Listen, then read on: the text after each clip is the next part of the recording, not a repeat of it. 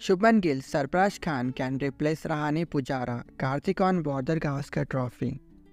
Former wicketkeeper batter Dinesh Karthik has named Shubman Gill and Sarfaraz Khan as replacement for Cheteshwar Pujara and Ajinkya Rahane for the upcoming Border Gavaskar Trophy.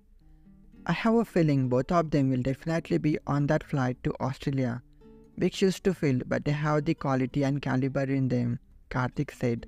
The series will start from November 22nd in Australia. Shubman has played 25 days so far.